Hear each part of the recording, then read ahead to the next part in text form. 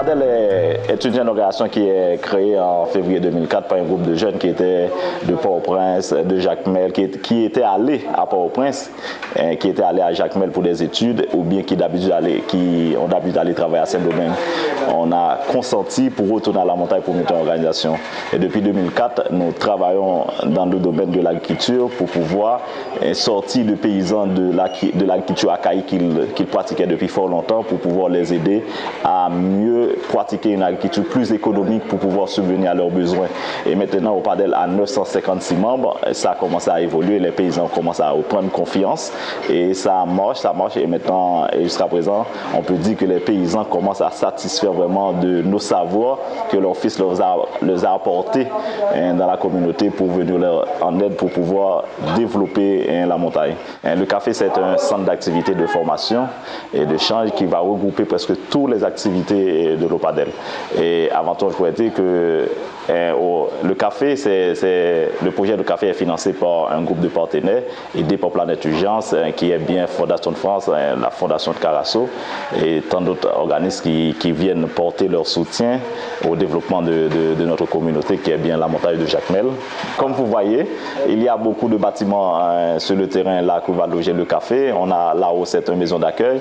Cette maison-là, c'est une maison qu'on a accueilli les, les congés solidaires. Ce sont des personnes qui viennent de la France qui nous apportent des connaissances. C'est cette maison-là qu'on accueille les gens là. Plus bas, on voit il y a un centre de formation. Après le centre de formation, on a la, le bloc administratif. Et, après, on a une petite bibliothèque qui est une bibliothèque informatisée.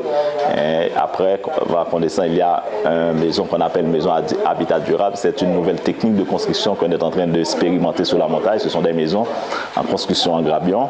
On a après une maison témoin, c'est une maison de prototype en grabion, en soubassement qu'on a fait pour pouvoir faire visiter les bénéficiaires pour voir est-ce qu'ils est-ce aiment vraiment cette maison, est-ce qu'ils veulent changer dans cette maison.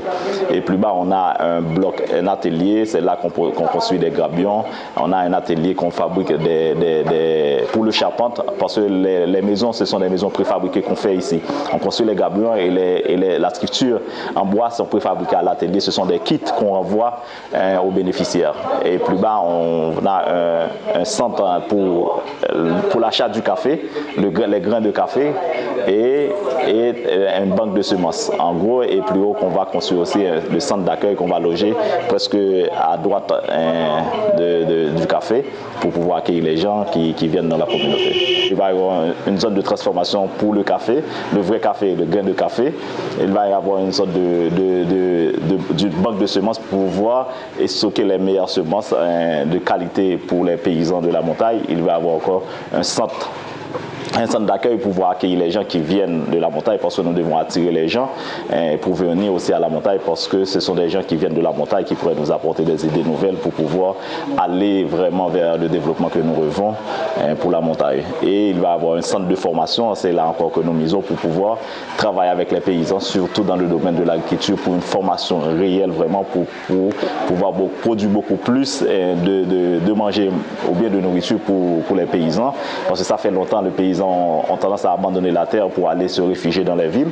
Euh, maintenant, avec le centre de formation, on va motiver les paysans pour leur dire que lorsqu'ils devenir dans la terre, ils devraient continuer à travailler la terre pour pouvoir trouver beaucoup de manger, pour pouvoir, pour que Haïti ne dépend pas vraiment de, l'aide de l'extérieur. L'auditif, c'est ça. Et comme je dis, dans le café aussi l'échange. L'échange, c'est un peu fort pour nous. L'échange, c'est de non seulement de partager ce qu'il fait au Padel, mais c'est d'aller chercher aussi ce qu'ils font les autres organisations pour pouvoir venir eh, à, à, l'OPADER avec ça, pour pouvoir travailler beaucoup plus pour un réel développement sur, sur, la montagne. On se trouve euh, devant l'une, la maison prototype euh, qui est en fait euh, la première maison du projet de construction en Gabion. Donc ça se passe comment? C'est que la technique de construction est beaucoup plus fine sur la conception et sur la fabrication initiale. C'était pas très simple de concevoir une maison dont la base euh, est en gabion, dont la superstructure est en bois avec une maçonnerie de chaux, dont les fenêtres ont des techniques un petit peu particulières. Donc c'était pas très simple de concevoir ça. L'apport essentiel des experts d'architecture et développement, c'est justement de permettre cet aspect-là. Euh, et c'est un petit peu la technique de fonctionnement de Planète Urgence ici à, la montagne, c'est de s'entourer au maximum de sachants, d'experts et de nous permettre d'apporter et surtout de laisser des techniques euh, à un groupement comme Opadel qui est un groupement solide, qui fonctionnait déjà avant, qui fonctionnera après. Donc l'apport de architecture et développement, l'apport d'IT futur dans l'enseignement numérique ont, permis de monter ce qu'on voit ici qui est quand même assez impressionnant, qui était pratiquement inimaginable il y a un an, mais qui laissera un outil de, un outil de travail au, au groupement en place qui, qui, va être important et surtout qui est reproductible.